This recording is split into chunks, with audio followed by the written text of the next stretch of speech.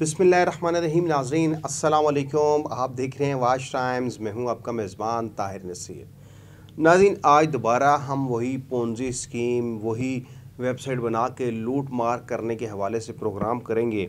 क्योंकि आपको मालूम है कि B for U group of companies के मालिक सैफुररहमान खान न्याजी की कल इस्लामाबाद हाई कोर्ट में दरख्वास्त ज़मानत थी। प्रोग्राम में मैं आगे चल के आपको कुछ खुशखबरी भी सुनाऊँगा और बताऊँगा कि सैफुररहमान खान न्याजी की दरख्वास्त ज़मानत पर क्या हुआ? इसके साथ साथ आपको ऑलरेडी आगाह कर रहे हैं कि सैफुररहमान खान न्याजी की तबीयत बहुत ज़्यादा ख़राब हो चुकी है और उन्होंने, हमने ऑलरेडी प्रोग्राम किया था जिसमें उन्होंने दवाओं की दरख्वास्त भी की थी। क्योंकि हमारा तो सिर्फ़ जो ये सिस्टम लोग लाते हैं, हमारा क्लैश इस सिस्टम से है। इनके जो कमीशन एजेंट हैं, उनके साथ है कि खुदा रहा, अगर आपने पाकिस्तान में काम करना है पाकिस्तानी अवाम की फ़लाह बहबूद करनी है तो पाकिस्तानी इदारों ने जो कवानीन बनाए हैं, आप उन कवानीन पर अमल पैरा हों, हम आपका साथ देंगे। हमने इस प्लेटफॉर्म से ऑलरेडी पाकिस्तान में नेटवर्क मार्केटिंग को लीगलाइज करने के हवाले से भी प्रोग्राम किए, कई वज़रा से हमने क्वेश्चंस भी किए। अब यहाँ पे सबसे जो बड़ा अलमिया है, वो ये है कि ऐसे ऐसे वज़रा हैं कि जिनको मालूम ही नहीं कि नेटवर्क मार्केटिंग होती क्या है। अब वो बात जो कमीशन एजेंट हैं, जो अपने कमीशन की खातिर लोगों के पैसे डुबोते हैं, उनका काम है कि वो इस तरह की मीटिंग्स अरेंज कराएँ प्रोग्राम अरेंज करवाएँ प्रेस कॉन्फ्रेंस करें कि नेटवर्क मार्केटिंग के हवाले से वो पाकिस्तान में जो वज़रा हैं, उन तक अपनी बात पहुँचाएँ कि नेटवर्क मार्केटिंग कहते इसको हैं। इसके अलावा आज मैं प्रोग्राम में बात करूँगा कि एक और आपको मालूम है, मंसूर बेग ने नेक्सस ट्रेडर्स के नाम से एक कंपनी बनाई है। वो दावा बहुत कर रहा है, उसकी वीडियो मैंने देखी तो उस वीडियो में वो कैपिटल की भी बात करता है, वो कहता है, शरीक की भी बात करता है। फिर वो कहता है कि हमारे पास आपका कैपिटल महफूज रहेगा। जिस तरह माजी में जितने भी नौसरबाज आते थे, कंपनी के मालकान, वो ये कहते थे कि आप हमारे पास इन्वेस्टमेंट करें, आपकी इन्वेस्टमेंट महफूज रहेगी। फिर इसके साथ साथ आपको नाजरीन मालूम है कि वंडर मेकर नामी एक कंपनी आई थी, जिसके जो मालिक थे, डॉक्टर एजाज़ रफ़ीक और डॉक्टर एजाज़ रफ़ीक और जवाद महमूद, जो दावा करते थे कि हम होटलिंग का बिज़नेस करते हैं। अच्छा इनकी मैं आपको थोड़ी सी बात बताऊँ कि डॉक्टर एजाज़ रफ़ीक और जवाद महमूद, ये लोगों ने जब कंपनी लॉन्च की तो उन्होंने जो दावा किया, मरी में हमारा होटल है, जब हमारी टीम ने वहाँ पर रबता किया तो मालूम हुआ इनका तो होटल ही नहीं है। फिर ये रेंट की गाड़ियाँ लेके घूमते थे। उसके बाद इन लोगों ने पाकिस्तानी अवाम को लुटा। अब ये डबल डोर गाड़ियों में घूमते हैं, आगे पीछे इनके गन मैन होते हैं। जब पहले ये थे, इनको, इनकी जान को ख़तरा नहीं था, लेकिन अब इन्होंने नौसरबाजी करना शुरू की तो इनकी जान को ख़तरा है। यहाँ तक wonder maker pick and glow की बात है कि डॉक्टर एजाज़ रफ़ीक और जो जवाद महमूद हैं, पहले आपको मालूम है कि ये मीटिंग्स करते थे उसके बाद ये मीटिंग्स की तस्वीरें सोशल मीडिया के ऊपर ग्रुप्स के अंदर वायरल करवाते थे ताकि ज़्यादा से ज़्यादा इन्वेस्टमेंट इकट्ठी हो। क्योंकि इन लोगों, ये हैं तो डॉक्टर लेकिन ये भी पाकिस्तानी अवाम को चूना लगाने आए हैं। डॉक्टर एजाज़ रफ़ीक डॉक्टर जवाद महमूद, इन दोनों को मालूम है कि एस सी सी पी ये कहता है कि आपने अगर सरमाकारी उठानी है तो आपको मुजारबा का लाइसेंस लेना पड़ेगा। फिर इसके अलावा इनकी पी डी एफ़ देखें इम्पोर्ट एक्सपोर्ट के बिज़नेस होटलिंग के बिज़नेस रियल स्टेट के बिज़नेस क्योंकि इन लोगों ने जहाँ पे ऑफ़िस बनाया था, वो ऑफ़िस भी कुछ दिनों से बंद है, वहाँ पे हमारी टीम भी गई थी, बैरिया में इनका ऑफ़िस था, लेकिन वो भी अब ताले लग चुके हैं। अब डॉक्टर एजाज़ रफ़ीक और डॉक्टर जवाद महमूद, इन लोगों की जो टारगेट मार्केट है, वो के पी है, क्योंकि मैं अक्सर कहता हूँ कि जो हमारे पठान भाई हैं, वो इन नसरबाज़ों की चिकनी चुपड़ी बातों में आ जाते हैं और अपने सरमाए से हा, महरूम हो जाते हैं। Doctor Ejaz Rafiq, doctor Jawad Mahmood. इन लोगों ने आपको मालूम है कि एक, जिस तरह मैंने बताया था कि इन लोगों ने बहुत से कमीशन एजेंट अपने साथ मिलाए हुए थे। फिर इन्होंने एक और शख्स को जिसने जीटी में स्कीम किया था, उसको अपने साथ मिलाया और उसको मुशरफ उसका नाम था, उसके गले में हार पहनाए गए। लेकिन अब डॉक्टर एजाज़ रफ़ीक, डॉक्टर जवाद महमूद, ये इस कदर शातिर हैं कि ये लोग अब ये कर रहे हैं कि जो कमीशन एजेंट हैं, उनके घरों में जाते हैं, उनके घरों में जाके नाश्ते करते हैं, फिर उनसे अपनी जो रोदाद होती है, वो सुनाते हैं और उस कमीशन एजेंट को भी ये प्रॉफिट का लालच देते हैं। उसको ये कहते हैं कि आपका फ्री का अकाउंट पाँच हज़ार डॉलर या दस हज़ार डॉलर का लगा देंगे। आपने पाकिस्तानी आवाम को लूटना है ताकि हम ज़्यादा से ज़्यादा पैसे इकट्ठे करें और जब हमारे पास पैसे इकट्ठे हो जाएँगे तो हम लोग रफू चक्कर हो जाएँगे।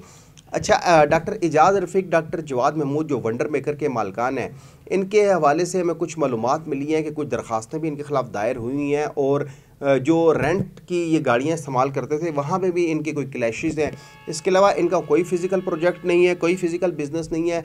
डॉक्टर एजाज़ रफ़ीक, डॉक्टर जवाद महमूद, माशाल्लाह, दोनों ने सुनत रसूल रखी है और सुनत रसूल रख के ये लोग पाकिस्तानी अवाम को लूट रही हैं, पाकिस्तानी अवाम को बड़े इनामात का, बड़ी गाड़ियों का लालच दे रहे हैं तो इन नौसरबाज़ों से, क्योंकि आप इनके चेहरे पे मत जाइए, इनके चेहरे के पीछे छुपी जो शैतानियत है, आप उस पर पहुंचिए कि ये लोग स्केम करेंगे। और देख लें कि ये गुज्त चार पाँच माह से लोगों को एक कमीशन एजेंटों के घरों में जा रहे हैं, वहीं पे कमीशन एजेंट कुछ लोगों को बुलाता है, वहाँ पे खाने खिलाए जाते हैं और उसके बाद लोगों को मोटिवेट किया जाता है कि जी बहुत बड़ी कंपनियाँ है, ये जो सुन्नत रसूल रख के, ये जो नौसरबाज बैठे हुए हैं, ये बहुत बड़ा स्कीम करेंगे, लिहाजा इनके आगे आप बीन बजाएँ, इनको इन्वेस्टमेंट दें ताकि ये लोग आपको चूना लगा के भाग जाएँ।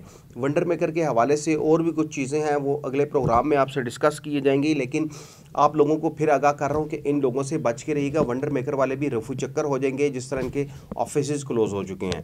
फिर उसके बाद आते हैं। आपको मालूम है कि मंसूर बेग, जो माजी में आल पाकिस्तान प्रोजेक्ट का एक टीम लीडर था, एक कमीशन एजेंट था, उसने अपनी कंपनी एक बनाई है नेक्सस ट्रेडर्स के नाम से।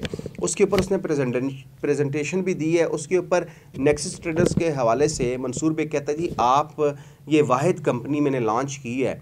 कि जिसमें आपका कैपिटल महफूज रहेगा 80 90 परसेंट हम आपको वापस करेंगे 10 परसेंट जो है वो आपका लॉस हो सकता है, फिर वो दावा करता है ट्रेडिंग का। मंसूर बेग को ट्रेडिंग के मतलब कुछ मालूम नहीं है, क्योंकि मंसूर बेग ने देखा कि आदम अमीन चौधरी ने इतना बड़ा स्केम किया, सैफुर रहमान खान न्याजी ने स्केम किया, थ्री जीनियस के कासम अवैध संधु ने स्केम किया, फिर इसके अलावा लासानी वालों ने स्केम किया, और कहीं वन कॉइन ने स्केम किया, फाइव स्टार ने स्केम किया तो इसने सोचा, चलो, मैं भी एक कंपनी बनाता हूँ। पाकिस्तानी अवाम को लूटूँगा, उसके बाद दुबई जाके बैठ जाऊँगा अयाशी मारूँगा पाकिस्तानी अवाम के पैसे से।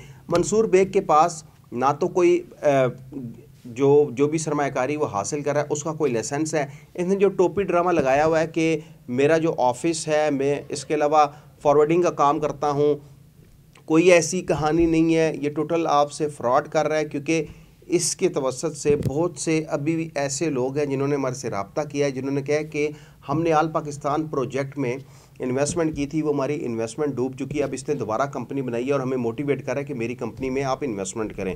तो मंसूर बेग से भी आप आगाह रहिएगा, इससे बच के रहिएगा। इसकी कुछ और दास्तानें भी आई हैं, वो भी किसी दिन आपसे शेयर करूँगा। अब आते हैं नाजरीन, आपको मालूम है कि B for U group of companies के जो मालिक हैं सैफुररहमान खान न्याजी। आपको गुज्त समात के ऊपर बताया था कि नैब में क्या हुआ, किस किस ने ज़मानत कराई। लेकिन सैफुररहमान खान न्याजी की जो दरख्वास्त ज़मानत लगी थी, वो इस्लामाबाद हाई कोर्ट के जस्टिस आमिर फ़ारूक और जस्टिस सरदार एजाज़ इसहाक की अदालत में लगी थी। अब उसमें ऑलरेडी नैब ने भी अपने कुछ दलाइल दिए हैं। इनके वकील एहसन बून ने भी अपने दलाइल दिए हैं। अब इस केस की समात पाँच अप्रैल तक मुलतवी हो चुकी है, क्योंकि लगता है इसी तरह के पाँच अप्रैल को सैफुररहमान खान न्याजी की दरख्वास्त ज़मानत पर फैसला सुनाया जाएगा। जो और यूट्यूबर्स बैठ के आपको, जैसा मैंने वो राज्य का नाम लिया था नाम भूल गया हूँ उनका तो उन्होंने जिस तरह आप लोगों को कहा था जी बस ज़मानत होगी है, ये हो रहा है टोटली झूठ है, टोटली फ्रॉड है, क्योंकि दरख्वास्त ज़मानत के ऊपर अब जो फ़ैसला आना है, वो पाँच अप्रैल को आना है।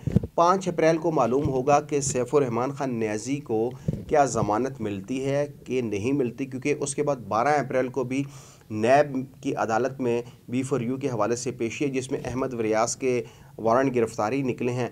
अब पाँच अप्रैल को इस्लामाबाद हाई कोर्ट का दो रुकनी बेंच, जो भी फैसला सुनाएगा, उससे आपको आगाह किया जाएगा। राजा रियाज की मैंने बात कर रहा था। राजा रियाज की किसी बात पर कान ना धरिएगा, क्योंकि राजा रियाज ने माजी में जो स्कीम किया है, उस हवाले से इतना पलंदा मेरे पास आ चुका है। अब डेली बेसिस पे एक एक प्रोग्राम राजा रियाज के हवाले से करूँगा कि राजा रियाज ने जो हेल्थ के नाम से एक कंपनी बनाई थी। कंपनी का नाम क्या था? कंपनी का ऑफ़िस कहाँ पे था? राजा रियाज ने लाहौर में कितने लोगों को लूटा? राजा रियाज के ऊपर जो लाहौर में मुकदमा दर्ज हुए, उनकी अब असलियत में बताऊँगा कि उसमें राजा रियाज जब गिरफ़्तार हुआ था तो इसने वहाँ पे किसको मारा था? किसको कहा था कि उसकी तबीयत इंतहाई तशवीशनाक है? तो मुझे माफ़ करते मैं आपको अगले माह में पैसे लुटा दूँगा। और वो अगला माह नवंबर से लेके आज मार्च हो गया, अभी तक उन लोगों को पैसे नहीं मिले। इस हवाले से भी हम आपको आगाह करेंगे। अगले प्रोग्राम तक के लिए अपने मेज़बान ताहिर नसीर को इजाज़त दीजिए। अल्लाह हाफिज़।